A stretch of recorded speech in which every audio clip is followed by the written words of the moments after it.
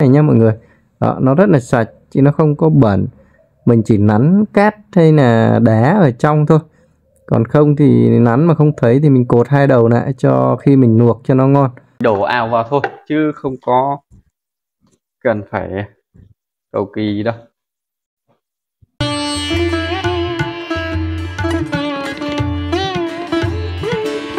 Đầu tiên thì mình sẽ hướng dẫn cho các bạn bắt phèo nhé Ờ, gọi làm sao mà gọi là bắt phèo thì uh, hay là lấy phèo Thì nhiều anh em quan niệm là um, phải lấy từ lúc con heo nó vừa mình vừa mổ ra à, Mình rút cái phèo đó mình cắt ra trước thì để tránh tình trạng à, nó mất ngon hay nó bẩn hay là như thế này kia thì thực ra thì nó không không, không quan trọng đâu. Tại vì ở trên bộ lòng non ấy nó chỉ có một cái khúc đó thôi như cái khúc mình đang vuốt đấy như mọi người đang nhìn thấy thì mình cắt đi một đầu. Thì tí nữa mình cắt luôn cái đầu kia thì mình cột hai đầu lại. Thì ở trên bộ nòng non ấy mọi người cứ để ý cái chỗ nào mà nó nhỏ nhất nó quát nhất.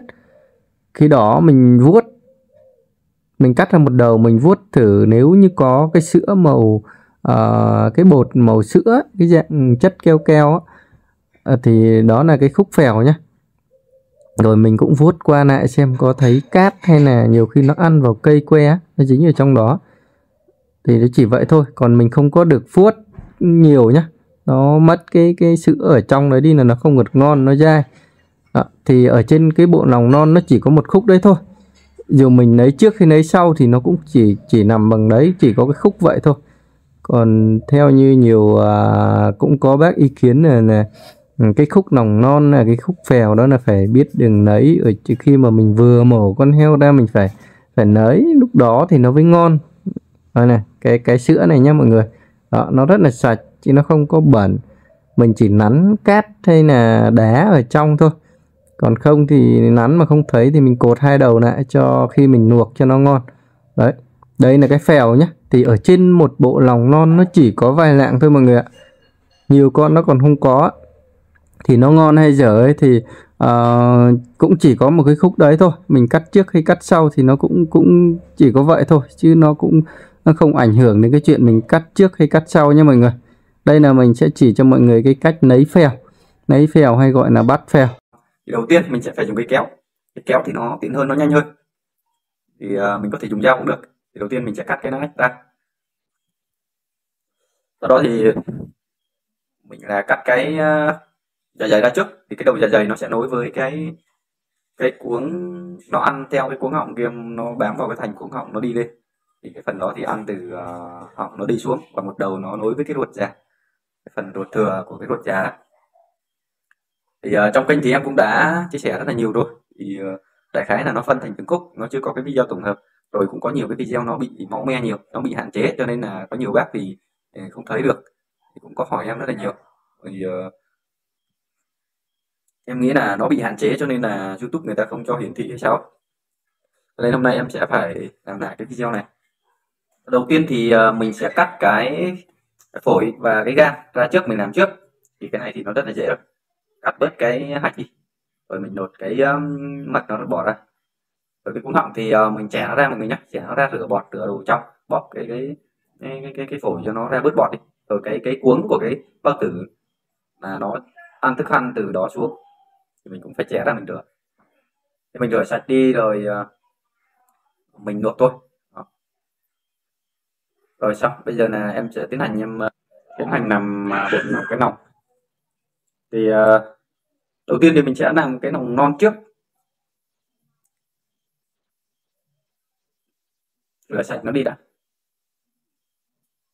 Rồi mình uh, xé nhé dùng tay mình xé ở cái đoạn uh, cuối cùng của cái ruột già mà phần ruột thừa đấy, đấy tụi em đang cắt ấy, thì cái đầu đó là đầu của cái ruột non nó ăn vào thì nó có hai đầu một đầu là nối với bao tử một đầu nối với cái cái khúc cuối của cái ruột già bây giờ mình xé mình phân tách nó ra. Tại vì nó có một cái lớp màng mỡ để bảo vệ tức là để liên kết cái bộ nòng non với nòng già rồi mình bỏ cái nòng già qua một bên. Và mình sẽ tiến hành mình làm nòng non trước. Thì đầu tiên thì em sẽ chẻ cái dạ dày ra nhé em sẽ che lấp bớt cái phần ờ, uh, mất vệ sinh đi để cho nó khỏi bị ảnh hưởng rồi các bác nộm ra rửa sạch đi xong rồi mình sẽ dùng một con dao cùn. Mình cạo mình cạo dần đi nhá. Cạo hết cái nước bẩn bám ở trên ờ, cái dạ dày á. Mình cạo hết cái chân trơn nó đi. Cạo chân hết đi xong rồi mình ờ, ờ, uh, nộn lại. Mình nộn ra như cũ. Mình rửa sạch rồi mình cho vô mình luộc.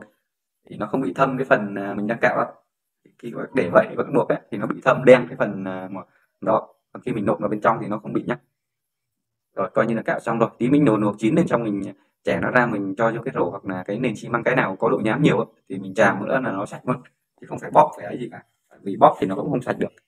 Rồi cái phần mầm non thì em sẽ chia ra thành nhiều khúc là mình sẽ xuất nó từng khúc một. Cái này thì ờ, tùy vào mỗi người thôi.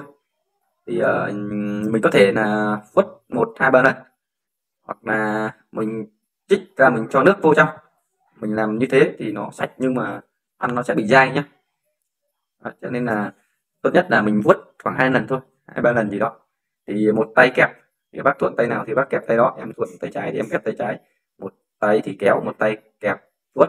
Là hai tay mình sẽ phải đều đặn nhịp nha thì cái này em làm rất là nhanh khoảng độ ba bốn phút là được thôi.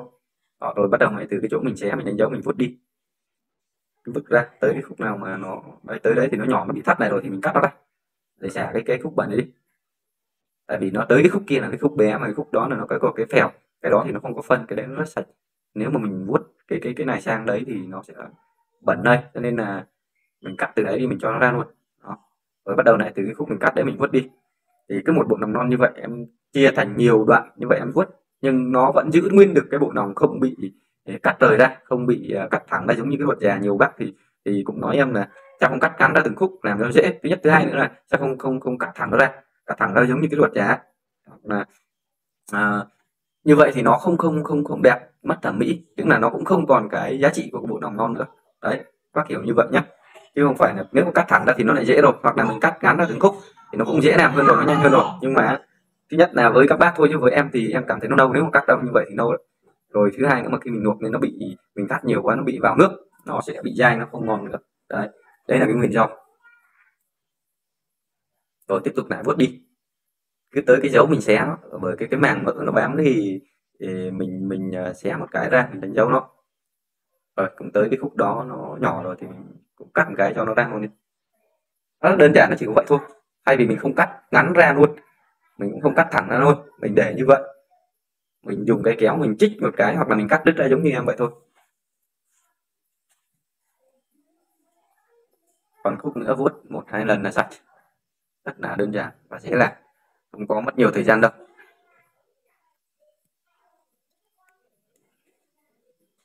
Rồi, vuốt khúc cuối nữa là được thôi. Khúc cuối thì cái khúc này nó thường là nó dày hơn. Mà cái khúc này là có phân nhiều nhá.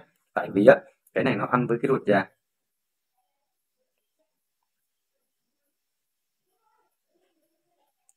Lại lần nữa cho sạch. Rồi mình đã vuốt xong rồi. Thì bây giờ em sẽ rửa sạch. Rửa sạch và nộn cái bao tử ra. Như cũ. Rồi mình cho vào mình luộc thôi. Cái luộc như thế nào thì để hôm sau em làm một cái video khác. Để quay cho nó hoàn chỉnh hơn. Thì hôm nay thì em chỉ có cách chia sẻ về cái cách làm thôi. Đấy, những cái dạ dày là mình nộn ra như vậy nhé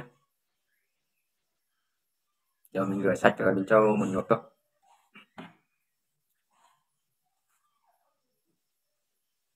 rồi xong rồi bây giờ mình sẽ tiến hành à, mình xử lý luôn cái nòng già ở trên cái nòng già là khi mình mổ ra mình tránh cái tình trạng mà bị dính lông hoặc là à, phân đồ đất bẩn rồi nhá.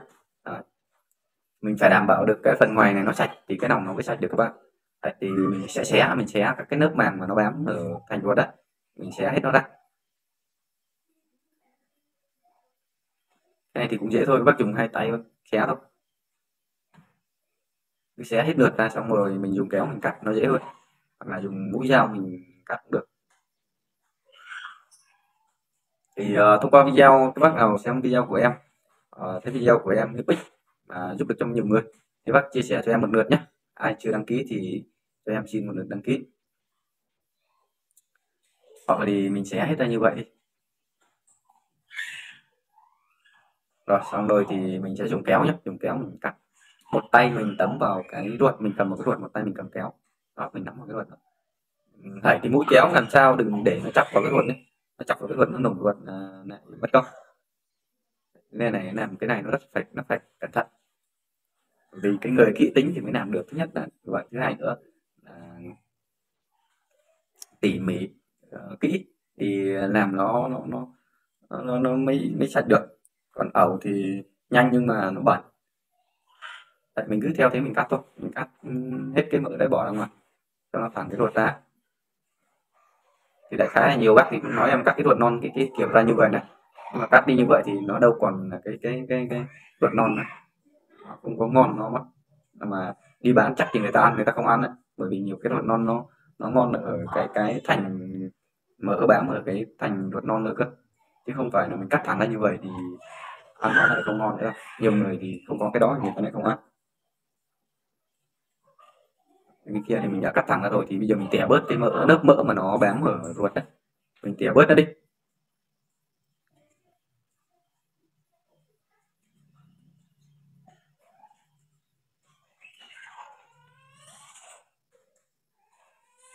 Đấy, cái video trước thì em em cũng chia sẻ lâu rồi thì nó có rất là nhiều view nhưng mà nó bị hạn chế mọi người nó bị uh, uh, kiểu như mình không lúc đầu mình quay video mình cũng không có biết mình cũng không có che bớt đi để cái phần máu me nó nhiều quá. Rồi bây giờ là xong rồi thì, thì chia đôi chia ba chia tư tùy các bạn. Mình cảm thấy như thế nào nó dễ thì mình làm thôi. Đây thì chắc em chia chia ba chia ba nhưng mà em cắt đôi tại vì cái phần dài và phần to nhất thì hai cục đó em không có cắt em để vậy luôn em làm một lần. Tí nữa mình nhồi thì mình biết cắt ra thôi. Rồi cái phần xả này rất là quan trọng này. Các bác vuốt bớt cái phần ở cái đầu đi nhé vớt vớt vừa vớt để mình xả nước mình không có cho cái phân nó chảy ngược lên. Như vậy thì nó sẽ dính vào các cái phần khác. Đấy, cái phần này vẫn là phần quan trọng ở cái hột trà. Thì mình giữ được cái phần ngoài vỏ này nó sạch thì cái phần trong mình xử lý được mình làm nó sạch được. Nhưng cái phần này mà nó dính bẩn là chỉ có vứt đi. Thì bây giờ mình sẽ xả nước vào mình vớt vớt sạch tới đâu thì mình kéo cầm gơ ngực kia cao nó lên nhé mình không có để cho nó chạm xuống xuống dưới bởi vì mình sợ là nó sẽ dính phân, cát, rồi đồ con heo nó ăn vô trong. Nhiều khi nó ăn cát, đồ bẩn đấy cắt bỏ cái khúc to đấy đi. Vượt thừa đấy, bỏ đi. Nhiều khi á, cái gặp có cái con mà nó bị mỏng quá, mỏng ruột quá, nó bể bể ra, nó dính bẩn tùm lum. Nhiều khi vứt cả bộ nòng đây, em lấy ví dụ như cái khúc này. Nó chỉ cần dính vô như vậy thôi thì các bác rửa kiểu gì rửa, nó không bao giờ nó sạch được. Thật luôn. Nó dính vào nó rất là bẩn gớm lắm. Thì chỉ có bỏ đi thôi. Nói chung là mình là một con người mà nếu mà không có lương tâm ấy thì cứ để vậy nộp ra rồi thì rửa sạch thì bên ngoài bên trong đi xong rồi nhồi vào ai ăn được ăn thì nhưng mà làm như vậy thì cũng chẳng ai biết đâu. Ăn vào ăn vào cát vào phân cái chất đấy thì may ra phát hiện được. Nhưng mà mình cũng không có làm như vậy. Vì uh, cái quan điểm của em ấy thì thời gian nó không quan trọng. Thì trong vòng mấy tiếng thì em cũng làm xong từ con heo từ A đến Z cho đến lòng đồ. Thì cái miệng trong nó chậm thêm hai chục phút hay nửa tiếng thì không quan trọng cứ miễn làm sao để mình chú tâm đến cái việc làm sao để cho nó đảm bảo nó sạch. Đó. thì bây giờ sạch rồi bắt đầu các bác đảm bảo nó sạch rồi thì mình mới nộn nhé mình cho cái đũa mình nộn nó ra.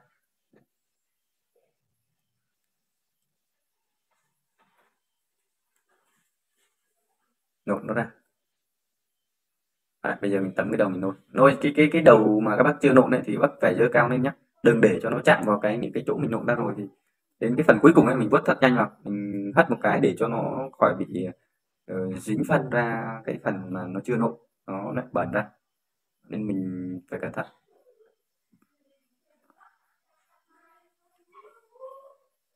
Mình làm sạch mình ăn được.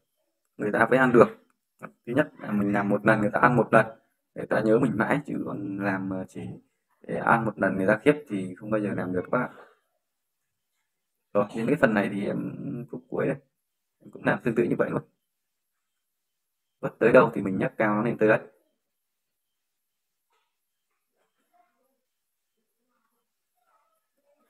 Các bác nào xem video mà chưa đăng ký kênh thì nhớ đăng ký kênh ủng hộ em với nhé em xin cảm ơn rất là nhiều ạ.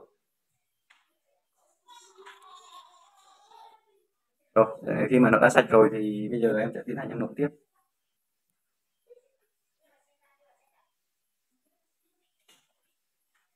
Mình cứ cho cái đũa vào mình uh, dài hay ngắn thì mình cứ nộn dồn nhiều vào. Ví dụ như là dài quá thì mình nhảy bớt bớt nó ra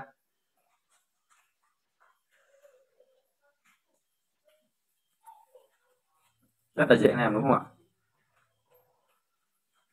Thì ai chưa biết làm mà xem cái video của em thì khẳng định là cứ áp dụng theo cách của em thì làm rất là dễ.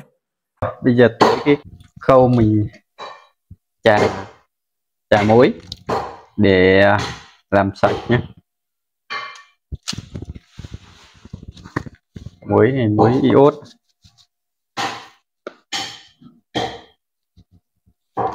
Cái này mình chỉ uh, một lần thôi chứ không không cần trà nhiều đâu. Thì như mình đã nói với mọi người rất là nhiều ở trên video có những cái video mình đã chia sẻ rồi. Thì mình dùng cái rổ tre này. Cái rổ tre này có độ này ờ, nó ráp ráp thì mình trà nó mới sạch nhé còn tất cả những cái ờ, như là bóp lá rồi ờ, chanh rồi giấm rồi nước mắm tùm lum ra, tất cả những cái thứ đó mình đều làm hết rồi. Và mà nó không có hiệu quả, mình đã bỏ qua hết rồi. Thì mình thấy cái cách này là nó hiệu quả nhất.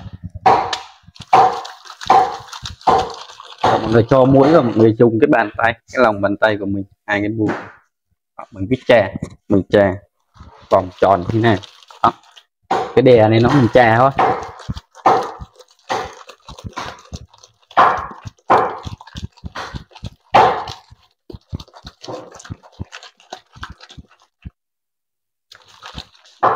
muối là muối y tốt nhé mình đừng có dùng muối hạt. Muối hạt là nó bị rách. Nó hạt hạt mà nó cạnh sắc đó. thì mình chè cho nó bị ờ, thứ nhất là rách tay mình, thứ hai nữa là nó rách cái này tí một người nó rất là khó. Nó đứt khúc đó.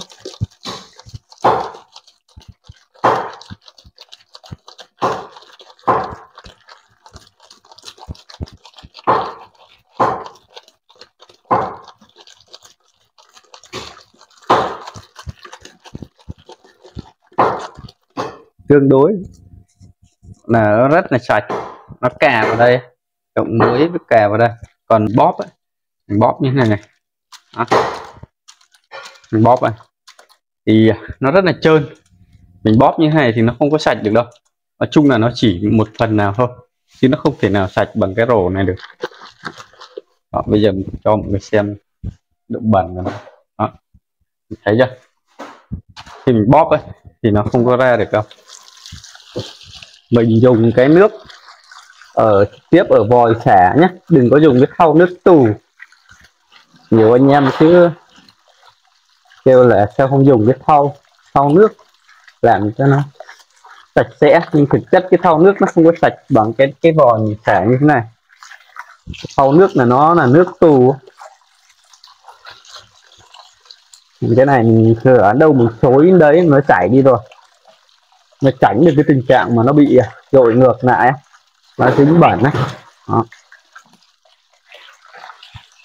đó, giờ là ok rồi đó.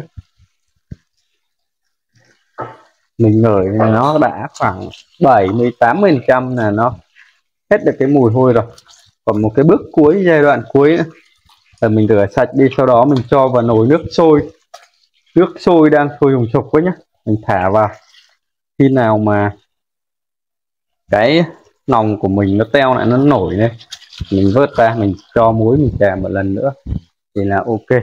Đó.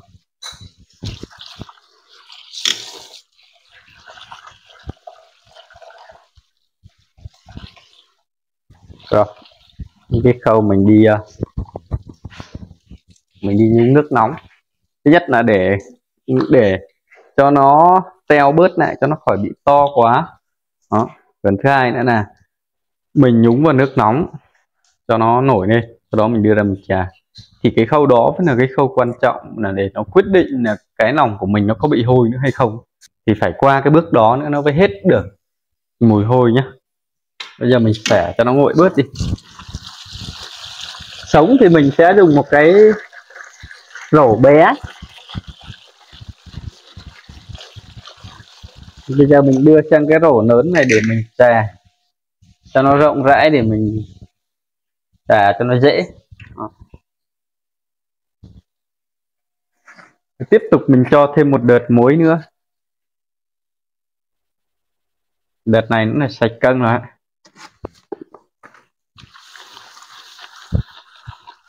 mình trà vòng tròn hay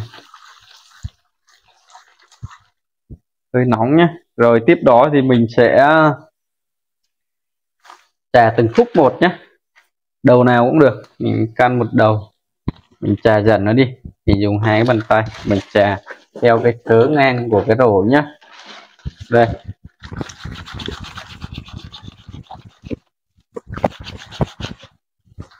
Đó, cái này mình dùng cái rổ to hơn rộng rãi hơn để mình biết là mình dùng hai cái tay mình trà nó như thế này đấy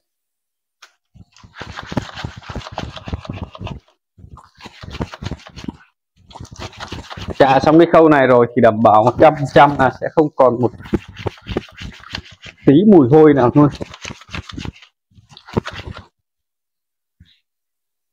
đừng để cho nó xoắn nhé, nó xoắn thì mình chè nó không có, nó không có năn được ấy, nó năn thì khi mình chè như vậy, nó năn tròn thì nó mới sạch hết được Đó.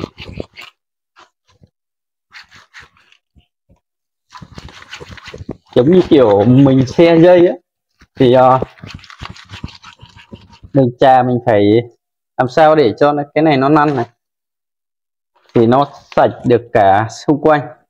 Còn ví dụ mình để mình giữ chặt nó mình đè một mặt đấy thì nó không nó không có sạch hết được.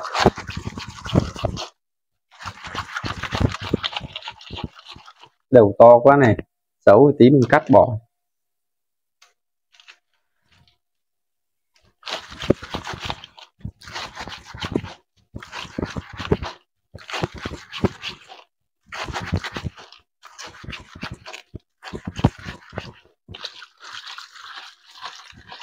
Chạy dần mỗi khúc một lượt như thế xong bắt đầu mình dùng tay mình xoa tròn, xoa vòng tròn thêm một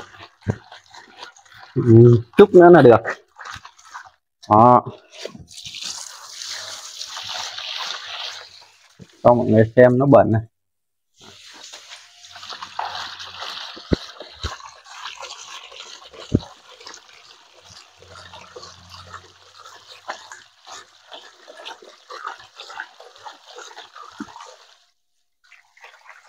Khẳng định với mọi người luôn, không còn cái cách nào sạch hơn cái cách này. Hết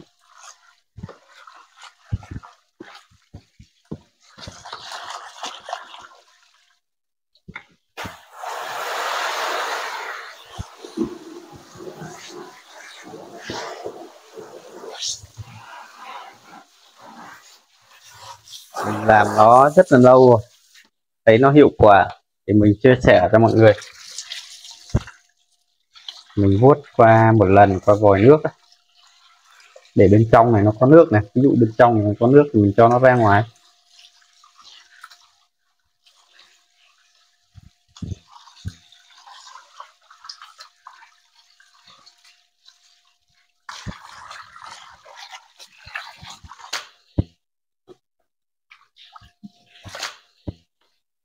Rồi, bây giờ mình cắn cái đoạn nào không ấy thì mình cắt đi.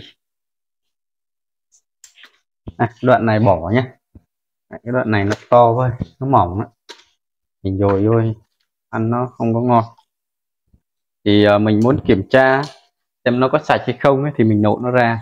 Này à, thì bên trong này ấy, cái mặt này nãy mình đã làm sạch rồi nó không còn dính bẩn ở đây nữa. Đó. đảm bảo là nó sạch sẽ luôn. Đó rồi, mỗi khúc thì mình nên cắt bỏ đi một chút cái đầu này. Để mình phòng trừ cái trường hợp nhưng mà nó, khi mình làm á, nó trào ra thì nó dính bẩn một chút ở cái đầu này. Nhưng mà cái này thì mình làm cẩn thận thì nó không còn bị bẩn, nó không có bẩn.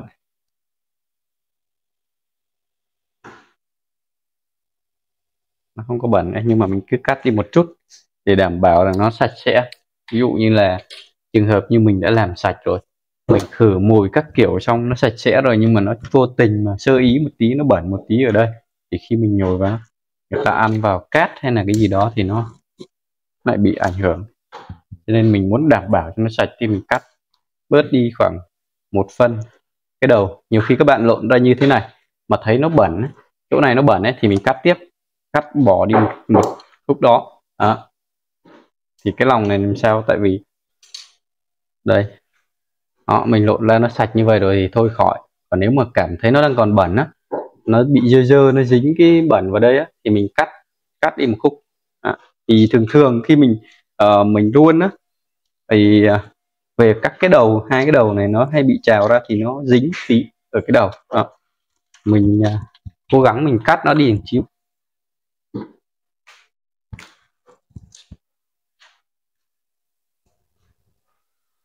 đây, phần mỡ lá là cái phần này đây. Người ta gọi là mỡ lá hoặc là mỡ chảy nhé. Cái này nó nột ở trong bụng con heo ra. Cái mỡ này thì nó mềm nhồi lòng rất là ngon. Hoặc là cái phần bụng, mỡ bụng mình cắt ra. Đó, mình dùng những cái này để mình nhồi nóng là cái mỡ lá và mỡ mỡ bụng. Tiếp theo ở đây mình sẽ có cây ngò nhé miền Nam thì gọi nó là ngò rí còn ở ngoài Bắc mình thì gọi là rau mùi, với lại hành lá. Tí nữa mình sẽ cho thêm một ít đậu phộng. Đậu phộng rang chín rồi mình xay dập ra. Mình cho vô đây. Hành lá một này, ngò là hai này, và một ít rau răm nữa nhé đó, là ba loại rau nếu như chúng ta có thời gian thì thêm một ít cải bắp trắng sái thật là mỏng rồi. Cho dâu nữa thì càng tốt hoặc là cải xanh cũng được. Rau bí rau bầu đó. Còn không thì cứ làm theo cái công thức này thôi. Rồi gia vị thì mình chỉ cho một chút bột ngọt một chút đường một chút bột nêm. Chỉ ba thứ đó thôi nhé tức là để mình lấy cái vị ngọt thôi. Còn à, cái độ mặn thì ở tiết nó có rồi cho nên là chúng ta không có cho muối nhé đó. Rồi, tí nữa mình sẽ trộn xay, mình luộc chín cái mỡ lên, sau đó mình xay ra. Mình xay ra thì mình xay vào đây luôn. Mình trộn đều lên bắt đầu mình mới nhồi. Công thức rất là đơn giản nhưng ăn rất là ngon. Rồi rồi khi mà tiến hành nhồi thì các bạn chuẩn bị cho mình một ít sợi thun như thế này nhé sợi thun hoặc là dây. Đại khái là cái gì các bạn cột mà cảm thấy nó dễ, nó tiện thì mình làm thôi. Đó, sợi thun nhá chuẩn bị sẵn uh, cái này thì hôm nay mình uh, chỉ cho mọi người không có cột nữa. Tức là mình không có cột trước một đầu nào hết ạ. Bây giờ mình sẽ rồi một đầu trước. Sau đó thì xong cái mình rồi đầu kia rồi mình cột đầu này. À, thì như vậy để tí nữa mình sẽ phân tích cho mọi người hiểu. Rồi đây là phần nhân mà mình đã chuẩn bị sẵn. Thì nó có đậu phộng đậu phộng xay à, uh, dập dập ra. Và cái mỡ này thì mình đã luộc chín rồi. À, mục đích mình luộc chín để cho nó khí mình luộc cho nó nhanh chín. Thứ hai nữa là khi mình băm mình xay nó dễ. Rồi rau cỏ thì như lúc nãy mình đã nói rồi. Cái công thức này nó rất là đơn giản mà nó tiết kiệm chi phí. Cho nước nóng vào nhé nước đang sôi trực tiếp luôn. Phần công cụ của mình thì gồm có cái này là cái nọ giấm cái nọ giấm mình cắt ra để mình làm công cụ nhồi nhé và cái ca. Thì cái nhân thì mình đã cuối nó xẹp xẹp rồi. Cho nước nóng nó chảy mỡ ra. Cho nó dễ nhồi. Khi mình nhồi ấy, nó không bị rít. Khi mà cái mỡ nó bị đông nã thì nó bị rít nhé nhưng mình phải uh, cho nước ấm vào nước đang sôi á. Rồi bây giờ mình sẽ tiến hành mình nhồi. Rồi đây là huyết nhé. Huyết thì mình sẽ múc vào ca. Giống như kiểu mình pha pha tiết canh luôn. Đó.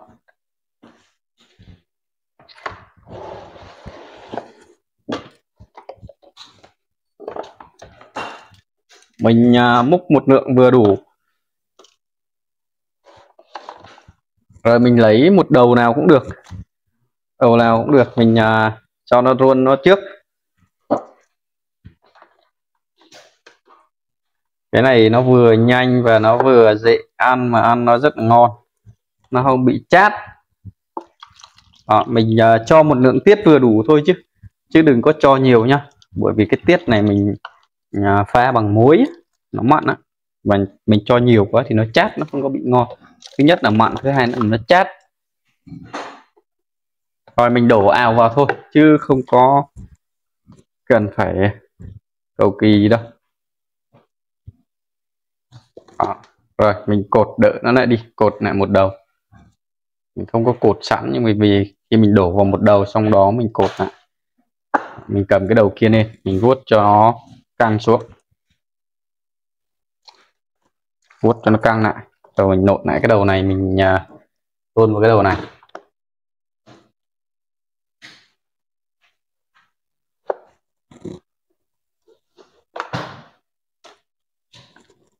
Cách làm này của mình thì ờ, nó rất là nhanh. Cũng không cần phải ờ, nhiều người phụ đâu. Một người làm thôi. Nó chỉ trong vài phút là xong à.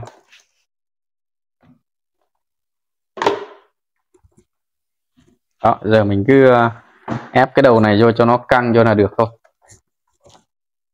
Khi mà cái này nó vô trong rồi mình để một chút là nó nó đông lại, nó cứng lại.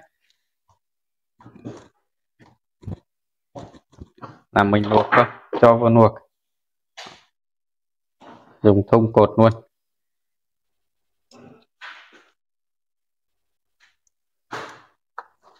Vuốt ngược lại đi, vuốt ngược lại cho nó đều đặn á.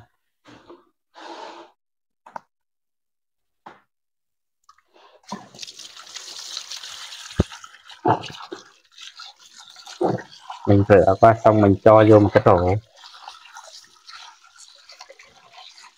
thì để mình giải thích qua cho mọi người hiểu là mình không có cột sẵn một đầu như hồi trước hồi trước thì mình cột sẵn một đầu nhưng mà lần này mình không có cột. Tại vì khi mình cột một đầu á mình dồn một đầu thì à, mình khi mình đổ nhân vào á mình vuốt thì cái nước nước với cái cái cái nhân nó xuống trước.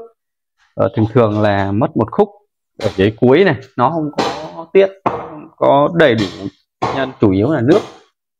Cho nên là mình sẽ không làm như vậy mình đổ mình không có cột sẵn mình để như vậy luôn cho vô một đầu. Thì nó sẽ đều nó không có bị à, chỗ có nhân chỗ không. Thường thường là mình khi mình cột sẵn một đầu mình đổ một đầu mình vuốt thì cái khúc cuối cùng thường thường là nó nước nó xuống trước. Với à, khúc tiếp theo. Thì cũng y như vậy thôi. Mình cũng sẽ à, cho vô một đầu trước.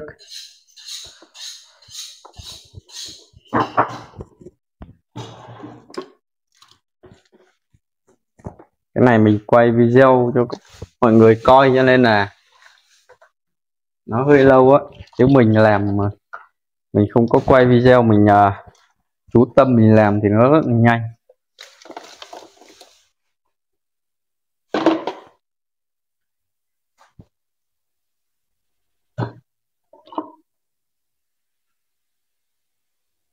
Đó, cứ vậy đổ vào thôi.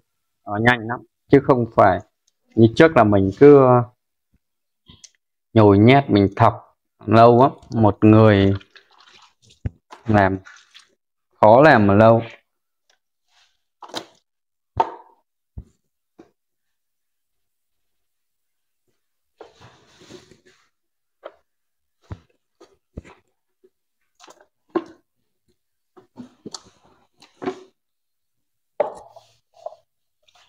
Mình căn một cái lượng tiết vừa đủ thôi nhé khi cho quá tiết nó mặn và tí nữa nó mình luộc lên mình ăn. Nó chát nó không có được ngon đâu nó không có mềm mại khi mình pha mình đổ như thế này á thì cái, cái, cái lòng của mình ăn nó mềm mại nó ngon lắm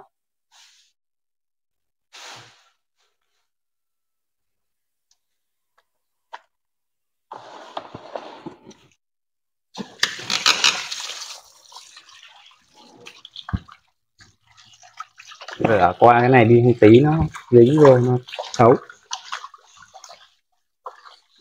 Thì mình cột bằng thung ấy thì uh, tí khi mình nột chín lên thì cái chỗ này mình cắt cái thung đi hơi đắng đắng. Thì vậy mình cắt bỏ cái cục này đi nhé cắt bỏ hai cái đầu mình cột thung mình cắt đi một khúc bỏ khỏi bị đắng.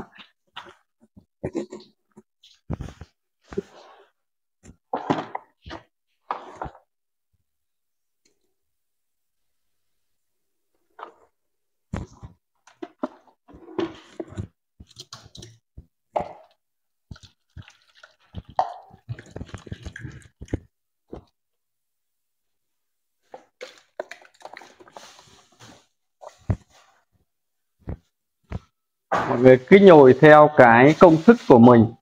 Cứ làm theo như mình ấy đảm bảo với mọi người luôn. Ai ăn cũng phải khen ngon. Tại vì khách của mình những người mà xa cả hàng vài chục cây số, được ăn một lần một, lần sau là kiểu gì cũng cũng nhớ tới cái lòng của mình luôn.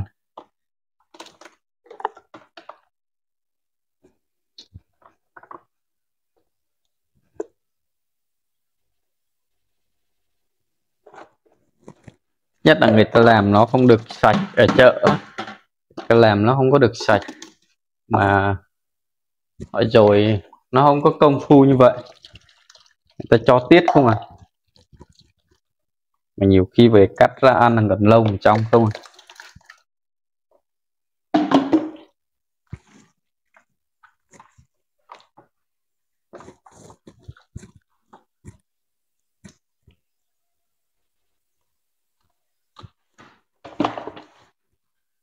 Đó có đơn giản như vậy là xong đó nhanh lắm, nó chỉ vài phút thôi, chứ không tốn nhiều thời gian của mình. Cái này tí mình đổ cho heo ăn thôi. Nó dư á. Nên mọi người căn căn làm sao nó không có bị dư để khỏi lãng phí.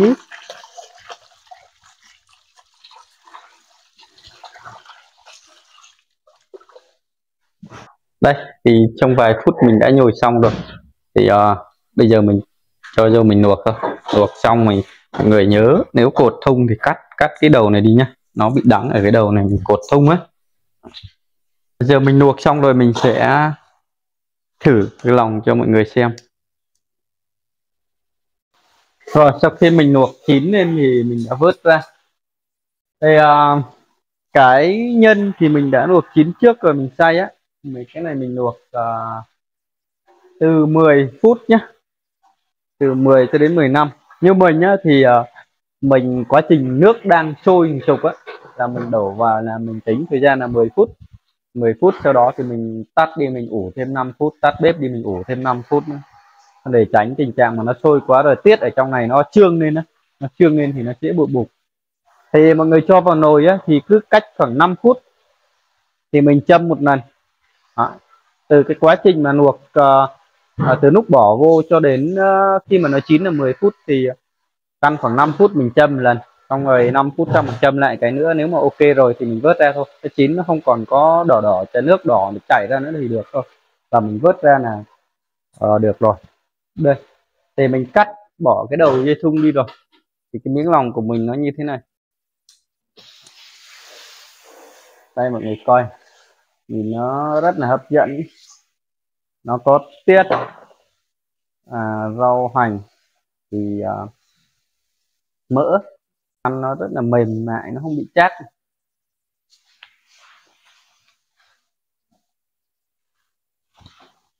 rất là ngon luôn.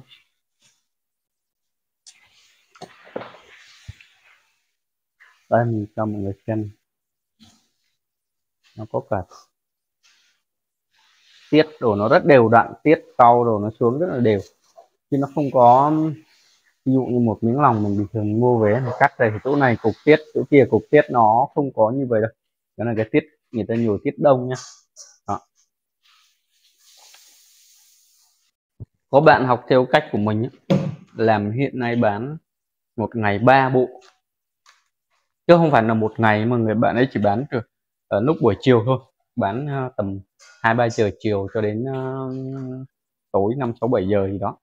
Thôi video của mình đến đây thôi. Uh, chúc mọi người xem video vui vẻ. Nếu thấy video của mình hữu ích thì like cho mình một lượt chia sẻ cho mình một lượt nữa thì càng tốt. Ai xem video mà chưa đăng ký kênh đăng ký kênh ủng hộ cho mình. Mình xin cảm ơn mọi người rất là nhiều. À, còn thắc mắc gì mọi người chưa hiểu thì cứ thả comment ở bên dưới giúp mình nhé rồi xin chào và hẹn gặp lại mọi người trong những video sau của mình ạ.